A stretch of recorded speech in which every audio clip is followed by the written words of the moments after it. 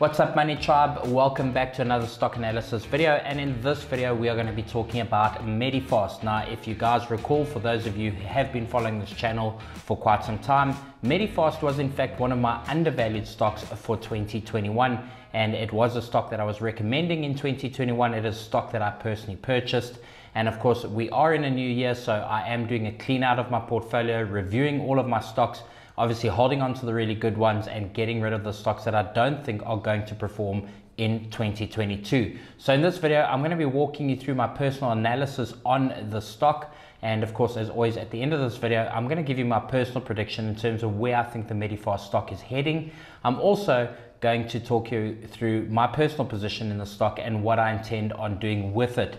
And uh, with that said, I think let's quickly jump into the charts and just have a look at what's happened on the pricing uh, over the last couple of months. So if we have a look at the last uh, month, we can see here the stock is actually up 5.72%. If we zoom out a little bit further to the last uh, six months, we can see it's actually down 24%. And over the last year, it is actually down 2%. So the stock price really did move quite a bit in 2021. Now, of course, we can see this in the 52 week uh, picture here, quite a little bit of uh, volatility for the stock, in fact. 336 on the 52 week high and 184.48 on the 52 week low. Now, just quickly heading across to our uh, analysts at Simply Wall Street. Uh, they feel that the stock is currently trading 63% below their fair value estimate. They also talk about the fact that they forecast earnings to grow at about 14% per year, in addition to which they've tracked the last uh, five years, and the last five years tracking is showing about 39% uh, earnings growth over the last five years consistently. So really it has been pretty good. And then also one of the risk factors uh, that they are highlighting the fact that the dividend track record is uh, a little bit unstable. Now, one of the things that drove a lot of revenue for uh, Medifast in uh, 2021, especially their Q3 results that came out, uh, was of course around their Optavia lifestyle solution, uh, which is basically a coaching and support system around uh, weight loss.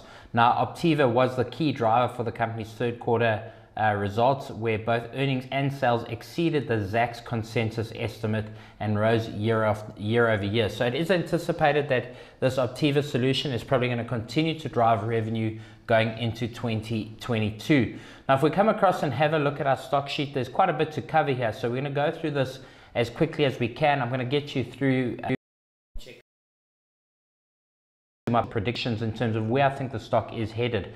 So just very quickly having a look at uh, that market cap, we can see sitting at 2.3 billion. We can see the share price uh, on the inception was 15.96, currently trading in that $200 range uh, with a P ratio of 14.73 and they have a healthy net margin of 11.18. Uh, equity is sitting at 157 million, which is an equity to market cap of 6.7 percent and uh, they do have a dividend which is costing them 41% on the payout ratio. And of course that dividend is at 2.89% which is one of the reasons why a lot of people actually are invested in the stock. Now having a look at that free cash flow even after the dividend payment they still have a fair decent amount of free cash flow left over. Now looking at the key ratios there's a couple of things here that I really like. First of all debt to equity is extremely low sitting at 10% uh, and in terms of their free cash flow, they can pretty much cover 82% of their debt position out of free cash flow. The price to sell is very, very competitive at 1.65. Uh, price to book sitting at 11.91 and the five year beta sitting at 1.44 so actually the interesting thing about the beta is that it is tracking the market to a degree um, but obviously the beta is slightly higher than the market so of course it could move with or against the market depending on what happens. Now looking at the insider holding, it's looking at 3.45% uh, by insiders uh, and very strong institutional holding at 88%.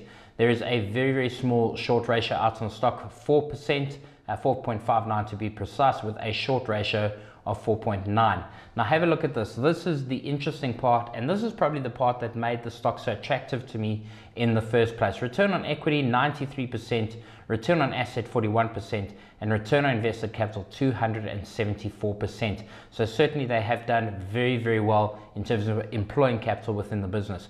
Current ratio is sitting at 1.87, so very healthy. And then of course we look at our revenue growth, our operating cash flow growth, free cash flow growth, and earnings per share. All of these really knocking the numbers out of the park 29, 18, and 14 and 30 uh, percent respectively. So, really big, big uh, growth numbers. Uh, and especially considering that these are compound annual growth numbers, so certainly very, very good performance. Now, if we come down to the year on years, as you would expect with a stock like this, a lot of green, very little red. So, especially on the top line revenue numbers, if we're looking at total revenue, gross profit, and operating income, uh, they've had three consecutive good years of growth. Net income on the bottom line is doing very well as well. Unfortunately, just a little bit of a setback here in the last trailing 12 months on operating cash flow and free cash flow. But again, if you compare these numbers against each other, they have gone backwards, but really I don't think it's too much to fret about. Now, if we come down to our 18 point checklist, as you guys know, we've got this separated into fundamentals, momentum, and growth. And uh, on the fundamentals, they really are just knocking it out of the park. The P ratio is between 1 and 25. The net margin is greater than 10. Assets are greater than liabilities. The dividend cost is less than free cash flow. Debt to equity is less than 40. Current ratio is greater than 1. And of course, shareholders have not been diluted in the last three years. So that really is a very strong fundamental um, set of numbers there. Now, if we go down to the momentum side of things, they're actually doing pretty well too. Uh, the only two areas where they've fallen short is, of course, on that operating cash flow and free cash flow, as I mentioned earlier, just falling back in the last uh, trading 12 months. But pretty much everything else knocking it out the park. Their top line uh, numbers are looking good, and that bottom line net income is also looking very good. Consistent year on year, three year growth. Now, heading down to our growth pillar, we can see again knocking it out of the park completely. Uh, the share price has doubled uh, since inception. The return on equity, return on asset, and return invested capital, all of these are greater than 10%. And then, of course, to top it off, the earnings per share have got uh, compound annual growth in excess of 10%. So, really, just a strong set of fundamentals from the company. Now, of course, it comes down to the valuation section. So, this is where we basically take a stock and we hold it up against the intrinsic value of the company. So we use two models for this. First of all, we use a free cash flow model, and the second is using the earnings per share. So just very quickly on the free cash flow model, uh, if we look at the multiple, it's currently trading at a multiple of 24.12. And uh, if we look at our modeling on this, we would do a low, medium, and high case on 20, 25, and 30 respectively. So currently, the stock, in our opinion, is worth about $206 based on the intrinsic value.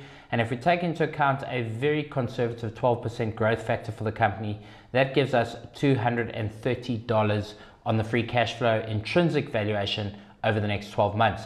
Now, I've come down to our DCF model, which is based on the earnings per share. If we throw in a discount rate of 15%, uh, normally we work to about 10%, but obviously we are anticipating a little bit of volatility in the market and up, up in the year ahead. So we are building in a little bit of extra safety.